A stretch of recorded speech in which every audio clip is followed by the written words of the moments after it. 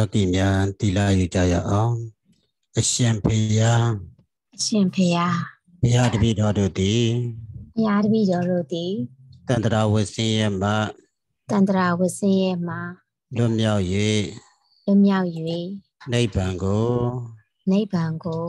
မျက်မှောက်ပြုပါရခြင်းမျက်မှောက်ပြုပါရခြင်းအကျိုးငါအကျိုးငါဘုရားတရားဘုရားတရား တန်ခါဒီဟုသောတန်ခါဒီဟုသောယရနာမြတ်သုံးပါးနှင့်ယရနာမြတ်သုံးပါးနှင့်အင်္ဂါ၅ပါးရှိသောအင်္ဂါ၅ပါးရှိသောသီလတော်မြတ်သီလတော်မြတ်သိက္ခာပုဒ်တို့ကိုသိက္ခာပုဒ်တို့ကိုကျင့်သုံးခံယူကျင့်သုံးခံယူစောင့်တည်ပါ၏စောင့်တည်ပါ၏အရှင်ဘုရားအရှင်ဘုရား အပမတိနတမတိတာအာမဘန်နေပါအရှင်ဘုရားမိမိတို့ရဲ့ချမ်းသာသောဣရိယာပုများနဲ့တရားများနာကြားနိုင်ပါပြီ။ယနေ့မိမိတို့မောင်တော်မြေစင်ဒီသမထဝိပဿနာကျင့်စဉ်များတဲ့ကနမိတ်ကိုအကြီးအသေးပြလို့ရမယ်သင်္ကန်းစာကိုသင်ကြားပေးမှာဖြစ်ပါတယ်။မိမိတို့ရရှိထားတဲ့အလင်းနမိတ်ဟာ ကြီးလို့လည်းရတယ်တီးလို့လည်းရတယ်စေးဆယ်ချက်လုပ်လို့ရပါတယ်အဲ့တော့နမိတ်ကိုစီကိုင်းနိုင်တဲ့စီစဲချက်ဆိုတာကနမိတ်ရရှိလာပြီလို့ဆိုလို့ရှိရင်မိမိတို့အနေဖြင့်အဲ့ဒီနမိတ်လေးကိုကြီးလို့လည်းရတယ်တီးလို့လည်းရတယ်ထောင်လို့လည်းရတယ်စိုက်လို့လည်းရတယ် နောက်အရှိအတူစသည်အဖြစ်အနီးအဝေးစသည်အဖြစ်ပြုလုပ်လို့ရပါတယ်စီစဲချက်ရှိပါတယ်နမိတ်ကိုလင်းလို့လည်းရတယ်စုလို့လည်းရတယ်နောက်တစ်ခါနမိတ်ကိုကြီးလို့လည်းရတယ်တီးလို့လည်းရတယ်နောက်တစ်ခါနမိတ်ကိုရှည်လို့လည်းရတယ်ရှည်တယ်ဆိုတာကအဝေးသို့ပို့လို့လည်းရတယ်တိုးလို့လည်းရတယ်တိုးတယ်ဆိုတာက အနီးနားလေးကိုဆွဲယူလို့လည်းရတယ်နောက်ဖြောင်းလို့လည်းရတယ်ဖြောင်းတယ်ဆိုတာကတော့နမိတ်ကိုတဏ္ဍန်လေးသွားတယ်ဆိုတဲ့သဘောတရားလေးစိတ်နဲ့အသိဉာဏ်ပြီးပြီးတော့ပြုလုပ်ခိုင်းတာပါနောက်ကောက်လို့လည်းရတယ်ထောင်းလို့လည်းရတယ်စိုက်လို့လည်းရပါတယ်နမိတ်ကိုလင်းလို့ရတယ်ဆိုတာကတော့ကိုယ့်ရဲ့လင်းနမိတ်လေးကမိတ်နေတယ်ဆိုလို့ရှိရင်စိတ်ထဲကနေ လင်းစီလင်းစီလင်းစီဆိုပြီးတော့ဒီလိုပြုလုပ်ရတာဖြစ်ပါတယ်ဒါကိုအဲ့ဒါလိုပြုလုပ်လိုက်မယ်ဆိုလို့ရှိရင်နမိတ်လေးဟာမေယာကနေမှတပြေးပြေးချင်းနဲ့လင်းလင်းလင်းလင်းလာမှာဖြစ်ပါတယ်ဒါကြောင့်မို့မိမိတို့အနေဖြင့်နမိတ်ရရှိလာပြီလို့ဆိုလို့ရှိရင်ကိုယ့်ရဲ့အလင်းနမိတ်ကိုပိုရအားကောင်းလာအောင်စိတ်ထဲကနေလင်းစီ လင်းစီလင်းစီဆိုပြီးတော့ဒီလိုလေးလင်းခိုင်းလို့လဲရပါတယ်နောက်တကကိုယ့်ရဲ့လင်းနမိတ်ဟာတခါတည်းရောက်တော့ဟိုနားကပေါ်လာလိုက်ဒီနားကပေါ်လာလိုက်အောက်ကပေါ်လာလိုက်ထက်ကပေါ်လာလိုက်ဘေးကပေါ်လိုက်လိုက်စိုက်စီအပြင်ပြန့်ကျဲပြီးတော့နေတတ်တာရှိပါတယ်အဲ့ဒါလိုပြန့်ကျဲပြီးတော့နေတဲ့နမိတ်လေးတွေဆိုလို့ရှိရင် ကိုကစုစေစုစေဆိုပြီးတော့မှဒီလိုလုပ်လို့လည်းရပါတယ်သို့မဟုတ်မိတ်စီပေါ့နမိတ်ကိုပေါ့နော်မိတ်အောင်စုစုအောင်စသည်အပြင်လုပ်လို့ရပါတယ်စုစီပေါ့နော်တနေရာထဲမှာစုပြီးတော့မှယူရတာနောက်တကနမိတ်ကိုကြီးလို့ရပါတယ်ဒီအကြီးသေးရတော့ပြီးမှမိန်ကြတဲ့ခြင်းကိုပြီးမှဦးဇင်းတို့သင်ကြားပြီးမှဖြစ်ပါတယ်နောက်တကရှေးစီ ရှေးစီဆိုတာကအဝေးကိုပို့တာပါနမိတ်ကိုအဝေးကိုလည်းပဲပို့လို့ရတယ်နမိတ်ဆိုတာကကိုယ်အိမ်ကဖျားမှာမဟုတ်ဘူးအနည်းအဝေးလူပြည်နတ်ပြည်မြမပြည်ရဖျားတရားစစေလွတ်ပြီးတော့မှပို့လို့ရတာကိုပြောတာပါနောက်တစ်ခါနီးစီ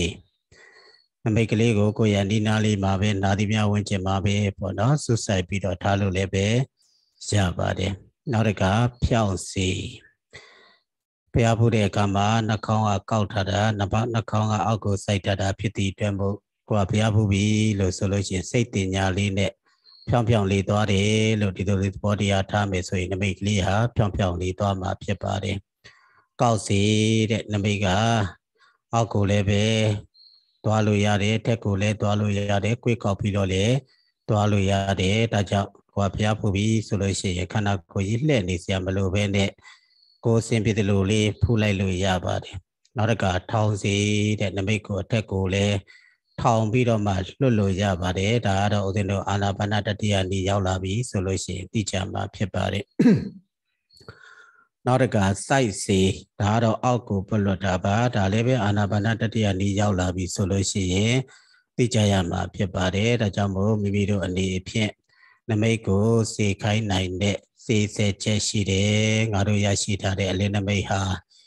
စေဆဲချက်လုပ်လို့ရတယ်လင်းလို့ရတယ်စုလို့ရတယ်ကြီးလို့ရတယ်သေးလို့ရတယ်အဝေးသို့ပို့လို့ရတယ်အနီးနားလေးကိုလည်းဆွဲယူလို့ရတယ်ဖြောင်းလို့လည်းရတယ်ကောက်လို့လည်းရတယ်ထောင်လို့လည်းရတယ်စိုက်လို့ရတယ်ဒါဖြင့်ဒီနမိတ်ဟာဘာလို့လို့မရတာလဲလို့ဆိုလို့ရှိရင်တော့ ဖြားလို့ပုံစံမျိုးလိပ်ပြလိုက်လို့တော့ဒီနမိတ်ကြီးဟာမရပါဘူးဒါကြောင့်မိမိတို့ရရှိထားတဲ့အလင်းနမိတ်ဟာဒီလိုမျိုးစေးဆဲချက်ပြုလုပ်နိုင်တာဖြစ်သည့်အတွက်မို့အနီးအဝေးလူပြည်နတ်ပြည်ကဖရာတွေကိုကိုကအလင်းနမိတ်ရလာပြီလို့ဆိုလို့ရှိရင်ဖူးမြော်လို့ရပါတယ်ဒါကြောင့်ဒီနေ့မှာတော့အနီးအဝေးလူပြည်ကဖရာတွေကိုဖူးမြော်လို့ရဖို့ရအတွက် နမိတ်ကိုအကြီးအသေးပြုလုပ်ရမှာဖြစ်ပါတယ်အကြီးအသေးပြုလုပ်ပုံကိုသင်ကြားပေးမှာဖြစ်ပါတယ်ဒါဖြင့်ဒီနမိတ်ကိုအကြီးအသေးဘယ်လိုပြုလုပ်မလဲလို့ဆိုလို့ရှိရင်မိမိတို့ဟာရှေးဥစွာဝါယူဝမတ်မှတ်ရမှာဖြစ်ပါတယ်ဝါယူဝမတ်မှတ်လို့မို့အလင်းနမိတ်လာပြီလို့ဆိုလို့ရှိရင်တော့အဲ့ဒီနဲနမိတ်ကို တထောင်သို့ပို့လိုက်ပါသို့မဟုတ်နယံငဲတဲ့တထောင်မှာထိုင်ပြီးတော့နယံကိုပို့လိုက်လို့လည်းရပါတယ်တထောင်ကိုလည်းပဲပုတ်လိုက်လို့ရပါတယ်ပုတ်ပင်သွားပြီလို့ဆိုလို့ရှိရင်စိတ်ထဲကနေလင်ပန်းငယ်ပမာဏလောက်ငါကြီးမယ်လို့စိတ်တင်ညာလေးထားပြီးတော့စိတ်ထဲကနေ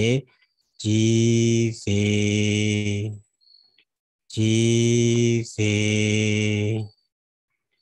ကြီးစေနမိတ်ကိုကြည့်ခိုင်းပါလင်ပန်းငယ်ပမာဏလောက်ကြည့်သွားပြီဆိုလို့ရှိရင်ရှားပါပြီအဲ့ဒီကြည့်ထားတဲ့နမိတ်ကိုပဲလက်ဖက်ရည်ကျန်းပကံလုံးလောက်သေးမယ်လို့စိတ်တင်ညာမှတ်လေးထားပြီးတော့သေးပါမယ်သေးစီသေးစီ သေးစီဒါနမိတ်လေးကိုသေးလိုက်တာဖြစ်ပါတယ်ဘာမှမကက်ခဲပါဘူးကိုရရှိထားတဲ့လင်းနမိတ်လေးကိုအကြည်အသေးပြုလို့ရမှာဖြစ်ပါတယ်ရှေးဥစွာဝါယူဝမတ်မတ်ပဲဝါယူဝမတ်မတ်လို့မို့အလင်းနမိတ်လာပြီလို့ဆိုလို့ရှိရင်နမိတ်ကိုတထောင်ပို့မယ်ပို့ပြီးသွားပြီလို့ဆိုလို့ရှိရင်လင်ပန်းငယ်ပမာဏလောက်ငါကြီးမယ်လို့စိတ်တင်ညာအမှတ်လေးထားပြီးတော့ ကြီးစေကြီးစေကြီးစေ၃ချိန်လောက်ရရင်တော့ပါပြီကြီးတာတဲ့နမိတ်ကလေးကိုပဲလက်ဖက်ရည်ပကံလုံးလောက်သေးမယ်လို့စိတ်တင်ညာမှတ်လေးထားပြီးတော့သေးစေသေးစေသေးစေလက်ဖက်ရည်ပကံလုံးလောက်သေးသွားပြီဆိုရင်ရပါပြီ အဲ့တော့ဒီအကြီးသေးပြုတ်လုပ်တဲ့နေရာမှာတတိပြုရမှန်ကကိုကကြီးတဲ့အခါမှာစัจ java လာလောက်ထိနမိတ်ကိုကြီးပစ်လိုက်လို့ရပါတယ်အဲ့ဒါလို့ပမာဏမထားဘဲနဲ့ကိုယ်ကနမိတ်ကြီးကိုကြီးပစ်လိုက်မယ်လို့ဆိုဒီနမိတ်ဟာပျောက်သွားတတ်တာရှိပါတယ်ဒါကြောင့်မို့ကြီးတော့မယ်ဆိုလို့ရှိရင်လက်ဖက်ရည်ကြီးတော့မယ်ဆိုလို့ရှိရင်လင်ပန်းငယ်ပမာဏထက်ပိုပြီးတော့မကြီးရဘူးဆိုတာကိုသတိပြုဖို့လိုအပ်ပါတယ် နောက်တစ်ခါသေးတဲ့အခါမှာလည်းပဲဒီနမိတ်လေးကိုပစ္စည်းကွေးလေးအထိသေးပြလိုက်လို့ရပါတယ်အဲ့တော့သေးပြီလို့ဆိုလို့ရှိရင်လည်းပဲလက်ဖက်ရည်အကျန်းပကံလုံးလောက်ပမာဏတဲ့ငယ်ပြီးတော့မသေးရဘူးဆိုတာကိုစိတ်ထဲကနေတည်ထားဖို့လိုအပ်ပါတယ်ဒါကြောင့်ဒီနေ့အကြီးအသေးပြုလုပ်ပါအကြီးအသေးပြုလုပ်ပြီးသွားပြီလို့ဆိုလို့ရှိရင်မနေ့ကသင်ကြားပေးခဲ့တဲ့ ကိုယ်အိမ်ကဖះနဲ့ရက်ွက်တဲကဖះကိုဆက်လက်ပြီးတော့ဖះဘုသင်္ကန်းစာပြုလို့ရမှာဖြစ်ပါတယ်ဖះဘုတဲ့အခါမှာဦးဇင်းတို့မိတ်အချက်နှစ်ချက်ပြောထားတာရှိပါတယ်စိတ်ရောက်လျင်နမိတ်ရောက်သည်စိတ်ကြည်လျင်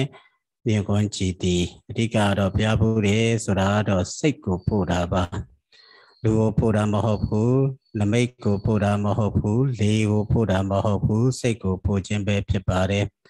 ကိုပုမဲ့ဘုရားကိုကြကြနနမေတ္တာဖို့ခွန်တောင်းပြီးသွားပြီလို့ဆိုလို့ရကိုယ့်ရဲ့စိတ်ကလေးကိုကိုယ့်ရင်ကဘုရားဆိုလို့ရင်ကိုယ့်ရင်ကဘုရားကိုရောက်အောင်ဖို့ရက်ွက်သေးကဘုရားဆိုလို့ရှိရင်ရက်ွက်သေးကဘုရားကိုရောက်အောင်ဖို့ပါဒါကြောင့်မို့ဒီနေ့အကြီးသေးပြုလုပ်ပြီးတော့